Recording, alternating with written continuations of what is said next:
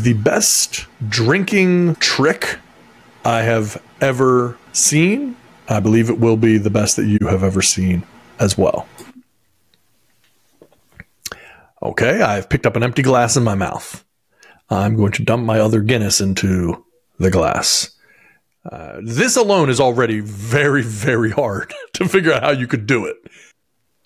I'm going to balance that beer on top of the empty glass that I just poured out. I've got to transition it onto the back. I mean, it hasn't spilled a drop at this Not point. a drop. Not a drop. Now watch this. Sliding. It's going in his up, mouth. I can sliding promise up, you that. Sliding up. Oh, wait, wait. Can I get it? Okay, nice and easy. Don't let it slide off. Get my teeth on it. Mm-hmm. Stick my nose in it.